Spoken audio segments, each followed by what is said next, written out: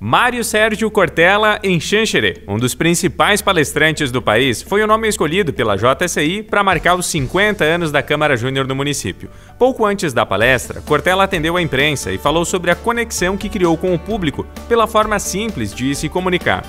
A comunicação, durante muito tempo eu fiz rádio e faço, fiz televisão e faço. Portanto, a necessidade de conectar, ligar com as pessoas. O mundo digital facilitou um alcance que eu não tinha. Né? Eu estava antes recluso a um auditório, uma sala de aula, um grupo menor. De repente, né, a sala de aula perdeu as paredes e aí ela ganhou essa condição. No entanto, a filosofia, que é a minha área, ela tem que chegar mais às pessoas, não de um jeito banal, superficial, mas que conecte, interesse, emocione. E foi sim, né, pensado desse modo. O anfiteatro da UNESC ficou lotado para receber o público de Xanxerê e região. Foi incrível, a gente lotou o evento em cinco dias de venda de ingressos, então a gente já esperava um público bem grande. Foi uma surpresa maravilhosa saber que as pessoas compraram a nossa ideia, compraram os nossos sonhos. A palestra foi incrível, né? Deu tudo certo.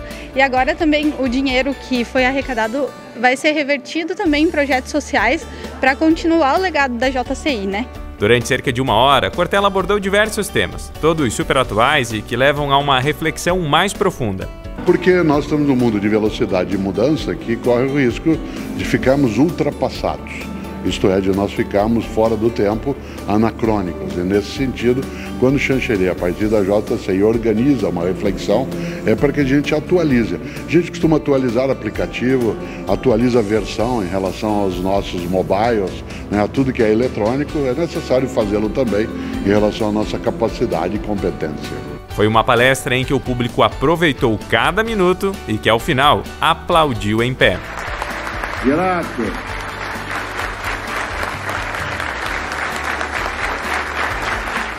Eu achei uma palestra muito boa e excelente.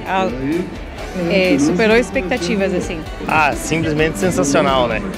Mário Sérgio Cortella, a segunda vez que eu participo da palestra dele e o incrível dele é que ele não repetiu nenhuma frase praticamente da, da outra palestra que eu fui, assim, é, é sensacional. E eu acho que esse momento foi ímpar e parabéns à JCI por um momento tão importante para todos nós.